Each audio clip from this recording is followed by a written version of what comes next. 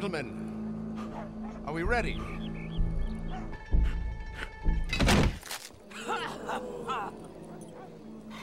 Now you know how it feels to watch somebody you love die.